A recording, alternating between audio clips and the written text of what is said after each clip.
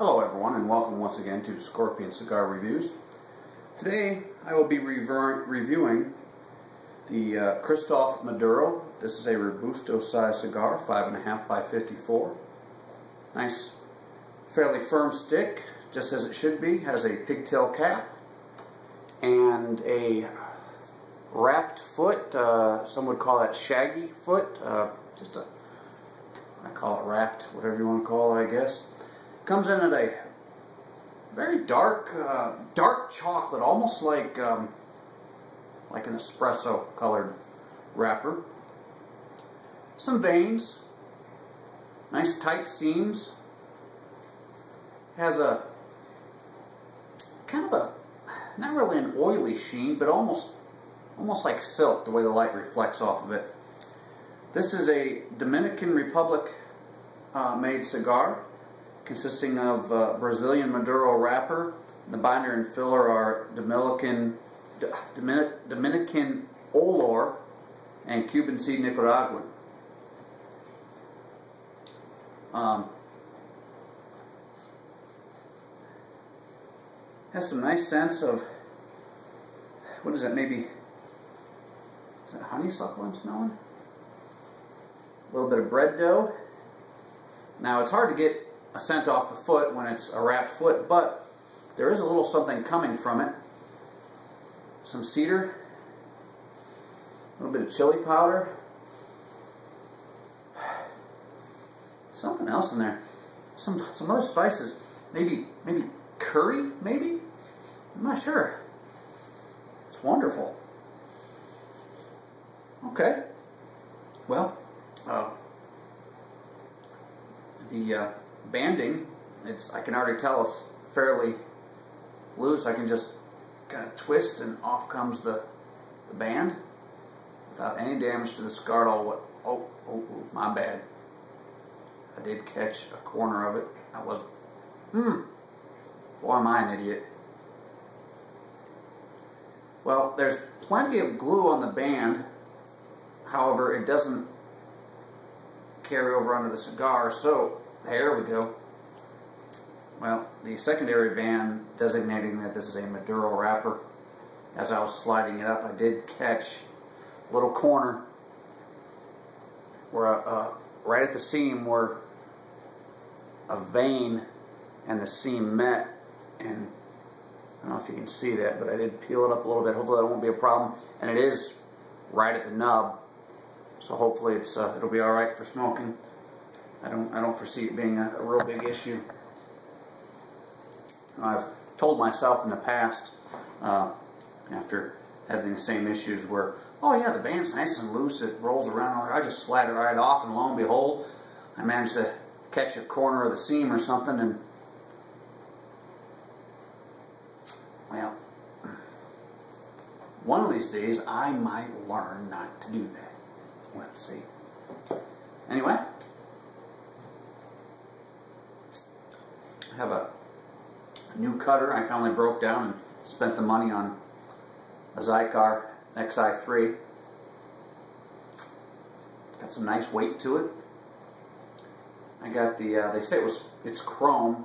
However, it's only the handles that are chrome. And the main body of it is uh, just stainless steel, uh, slightly polished. You can still see the brush marks in it. But I also took it down to uh, uh, a local, uh, well, it's called Things Remembered. I don't know if you have them in your area, but they do engravings on various wedding gifts, uh, that type of thing. But uh, so I had my initials and a scorpion, you know, because scorpions are my thing, engraved on the back side of it there. So,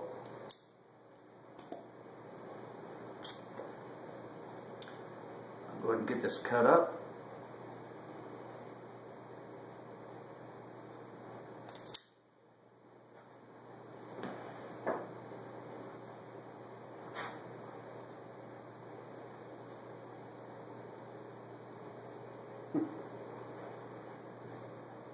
Still managed to make a little bit of a mess. I just cleaned in here today. Anyway.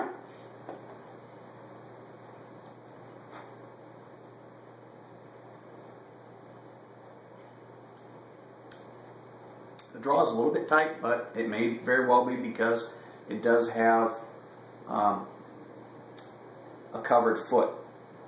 So once that burns off, it may open up. I'm sure it will.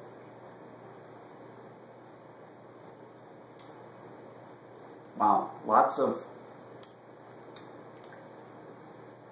lots of spice. There's a lot going on. Very flavorful. It's definitely got hay. Has the cedar in there, some chili powder.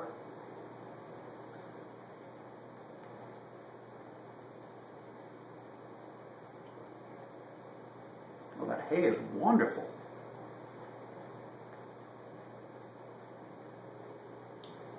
Some other barnyard type flavors in there. Fantastic. All right. So we'll get lit up and see how we progress from there.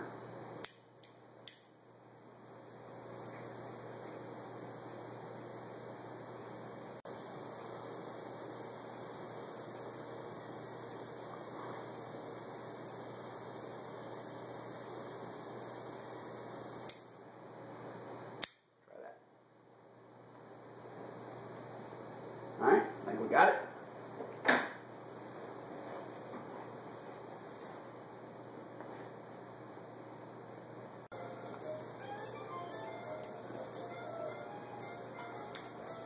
Initial lighting. This is a definitely a, it's a solid medium body.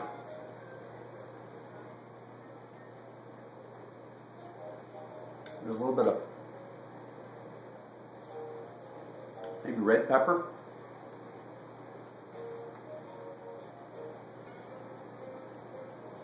A lot going on. It's hard to pick it out.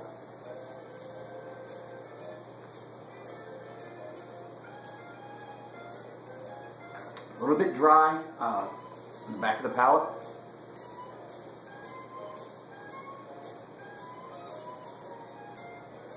Maybe some flintiness in there.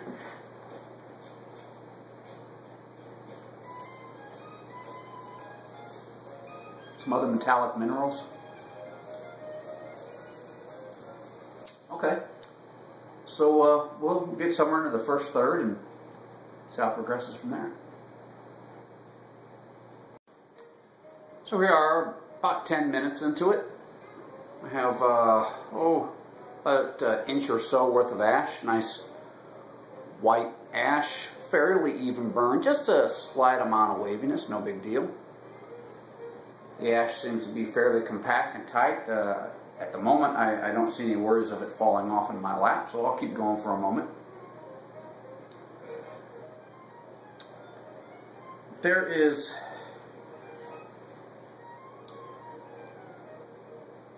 a definite odd taste of maybe some underdone poultry.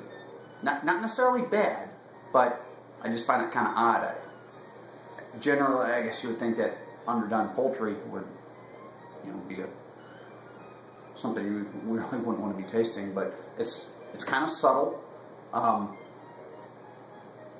it's not it's not bad. It's just a little odd. Still has the metallic minerals, some some flint, that type of thing. Um, it's a, a good solid medium body. The, the draw has tightened up from when I initially lit it, um, when, when it was just the, the very foot that was burning. Uh, it seemed like the draw was going to loosen up nicely, uh, but then once I got through just the, the initial lighting right on the foot and uh, entered into the first third, the draw uh, really tightened up. So we'll see what happens. Hopefully it'll open back up. I really can't take any more off the end. I cut off more than I wanted to in the first place from the head of the cigar. Smoke's kind of warm. Not, not enough to put you off, but it's definitely got some warmth to the smoke.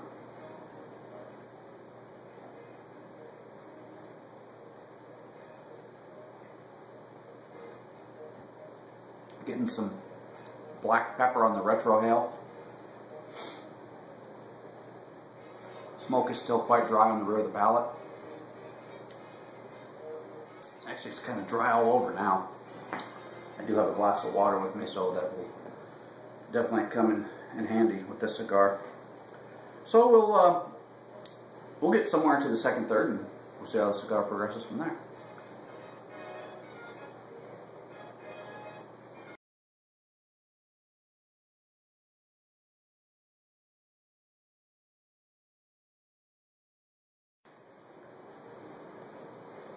I'm pairing tonight's cigar with Woodford Reserve Distiller's Select from Labrot and Graham. This is a Kentucky straight bourbon whiskey. It's bottled at 45.2%. Just one of those little sampler bottles. I've recently been trying some whiskey. When I find something that I like, I'll buy a larger bottle. Um, you can generally pick up the little sampler bottles for two, three bucks a bottle.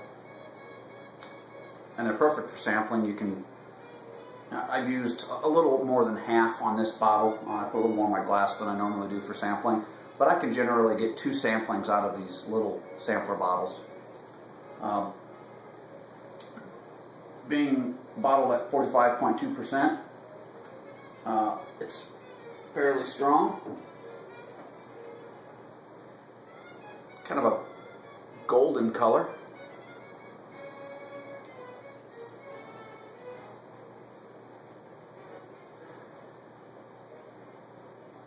I went ahead and I put a couple drops of water in it to help open up the, the nose on it. And it's worked. It's, it's taken that alcoholic bite out of it.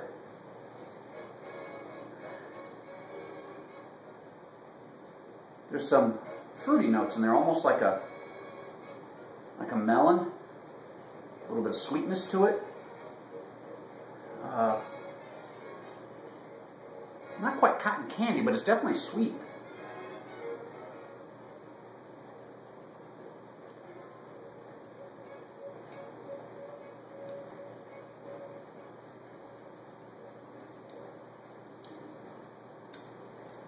Still a lot of alcohol burn on there. Has a very whiskey character to it. There's this just now starting to come through where the flavors of the whiskey are now overpowering the initial alcohol burn from when you first uh, swish it around your mouth, let it sit on your tongue, and then you swallow it to get the bulk of the alcohol out, and you're left with where your taste buds are just starting to pick up the lingering effects of the various flavors in the drink.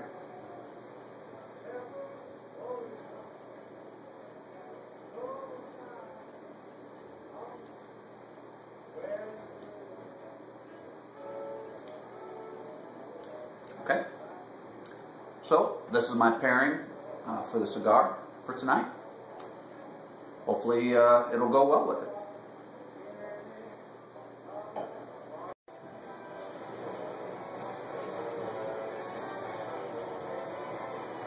In the second third of the cigar now. I did go ahead and ash uh, right after uh, right after the first third, just before it transitioned into the second third. Uh, a little bit of effort to get it off, not a whole lot, so it probably could have held on a little bit longer, but uh, didn't want it falling off in my lap, so there we are. The second third brought on some some grilled meat, just subtle, slight hints, short on the finish of grilled meat. And there, it's transitioning quite quick, quite quickly into, uh, for the most part, just black pepper. Maybe a little bit of, a little bit of cardboard in there.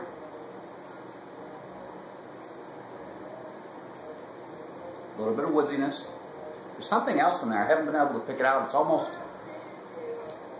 almost dessert-like. There's a maybe a custard.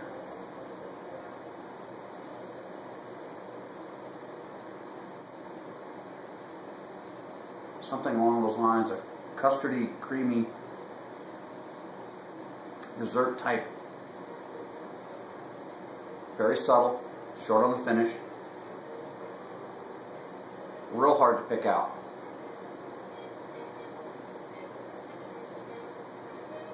The smoke is still fairly warm. The burn seems to be trying to correct itself. It's almost perfect.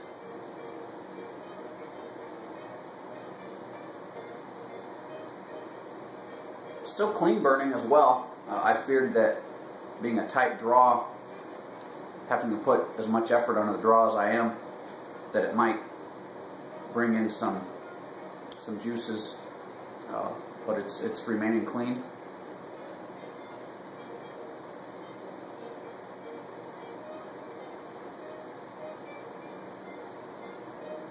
I've recently turned down the humidity on my my humidor there. Uh, I now run it at 67% instead of 70. I was having some issues with cigars that were going out quite often, um, or where I had to correct the burn a lot. So I thought, well, maybe I'll try to turn the humidity down, and maybe it'll help with the uh, cigars burning a little bit better. Now, it'll take time for the cigars to release the humidity that they have in them. But uh, it's been probably a week or 10 days since I've turned it down. So, starting to show signs, uh, a little bit better burn. So I'll hold it at the 67%. See how things turn out from there. Make sure I'm not getting too dry or see if it needs to go down any further from there.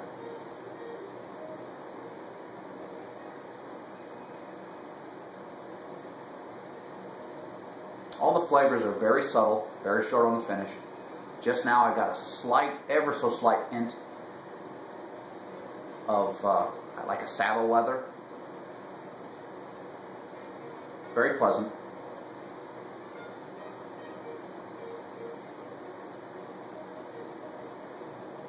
Okay, so I'll get somewhere into the final third and see uh, how it progresses from here. 45 minutes in, starting uh, somewhere into the final third here. Uh, burn is still pretty even, a little bit of waviness, not bad at all. Once again, I, I did ash as I entered the final third.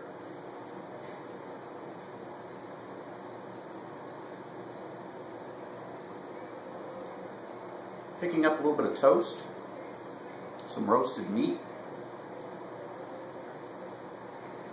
Smoke is still fairly dry and warm.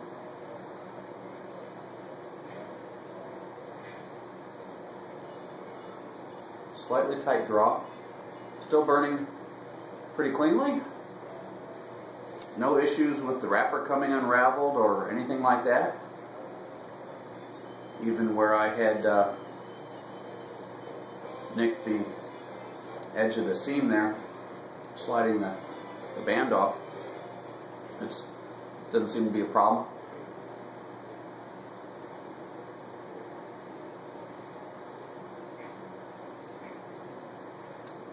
Something else coming through. There are several flavors that are very subtly pronounced. Real hard to pick out what they are. Short on the finish.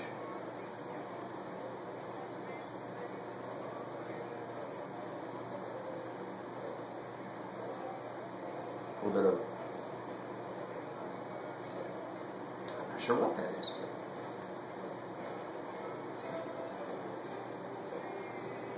Some of the flavors are just so subtle and so short on the finish. Almost indiscernible.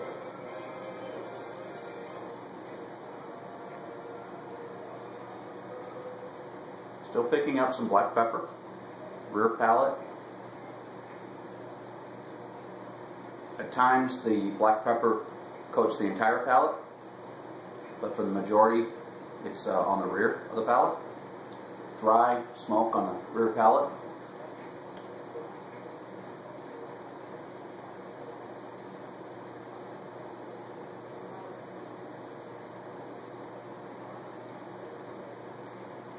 pleasant cigar overall.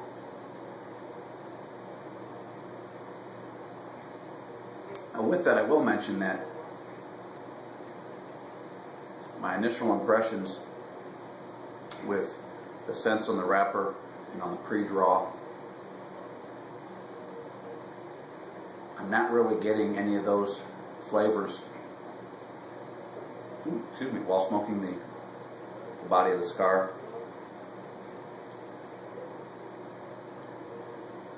so I'll get uh, somewhere into the nub with my uh, final overall impressions.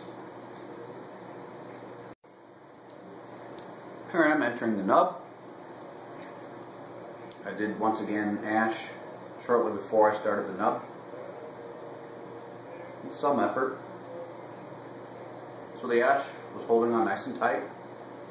But once you get an inch or so worth of ash, uh, from that point you run the risk of it dropping off in your lap. So off with the ash. As I mentioned, I'm pairing the cigar with with a Woodford Reserve Distillers Select Kentucky Bourbon.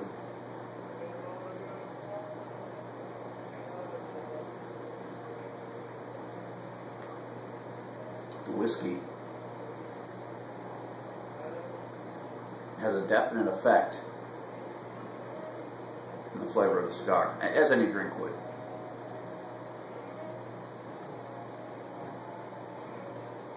You take a, a taste of the whiskey.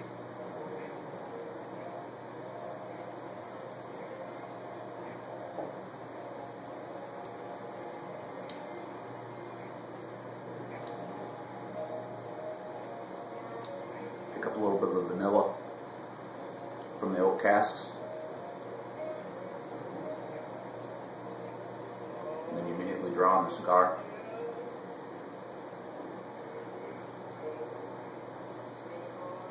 Definitely changes the flavor. Makes it much more complex.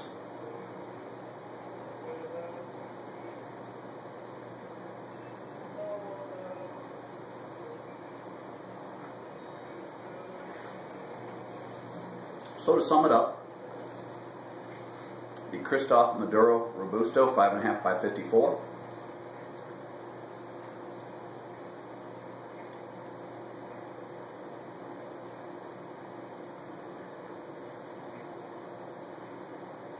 there were a lot of nice scents on the wrapper in the nose and the pre-draw had lots of nice flavors. Everything from cedar and chili powder definite hay and other barnyard flavors. Maybe some curry in there a little bit of bread. But none of that carried over into the smoking of the cigar. It's a medium body, relatively dry smoke. The first half saw mostly metallic minerals, flint, that type of thing. Subtle. Uh, I generally don't like the taste of flint, but small quantities, subtle, short on the finish, it was fine. There are some tastes early on of some underdone poultry. Didn't last real long. Quickly progressed to some subtle hints of grilled meat, eventually became roasted meat. Some black pepper in there. Occasionally got some hints of cardboard.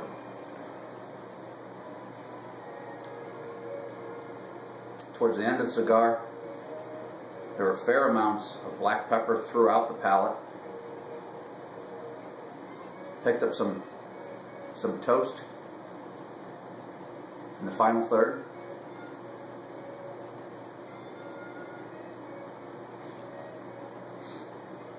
I did pick up for a short time in the second third some saddle leather and uh, like a custard type dessert. The smoke has been warm and dry throughout the cigar. You certainly would want something to drink with this.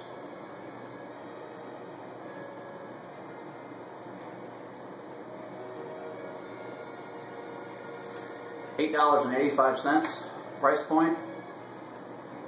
Probably a fair price for this cigar. I've been smoking it for about an hour.